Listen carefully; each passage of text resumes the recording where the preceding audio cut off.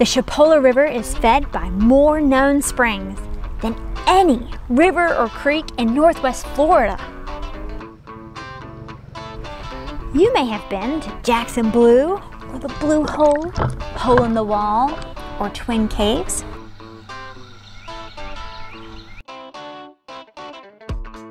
There are 63 recorded natural springs along the Chipola, and dozens more that few people have ever seen. So the spring doesn't look very big, but it's huge. It's absolutely massive. Um, so it looks just like a tiny little alluvial spring almost, but it's not. It's a cave spring, and it's deep. Uh, I would say at least 12, 13 feet deep. And there's silt around it, but there's rock where the cave opens. And it's a turquoise color, uh, many different shades, um, all different kinds of blues and everything. This spring is high up the Spring Branch tributary of the river, not far from the town of Campbellton in Jackson County. It is on a hunting lease, held for the most part by current and former wildlife officers. It may be soon named for a young wildlife officer who gave his life in the line of duty. For now, we just call it Kathy Spring, after Kathy Jackson, who helps to care for this beautiful place.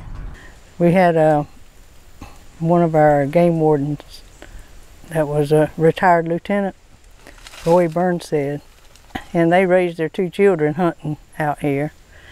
And little Roy grew up to be a game warden and was killed in a on duty in a head-on collision with another officer and it killed both of them.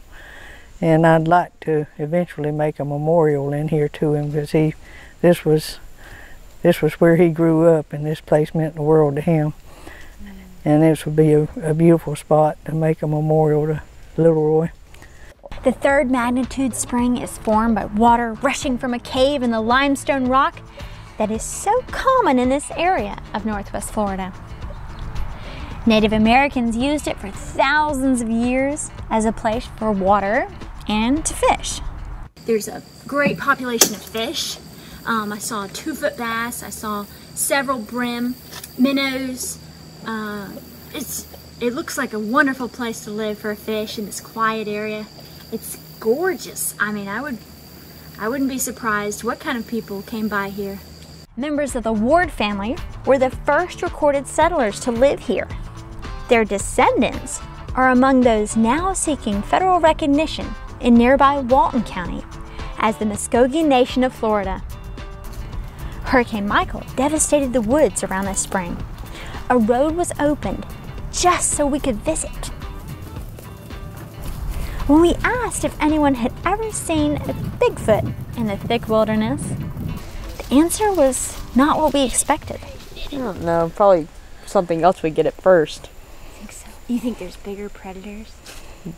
Probably a snake. I saw a snake eating another snake. This place is weird. Whoa, so this place is too dangerous for a Bigfoot, is what you're telling me.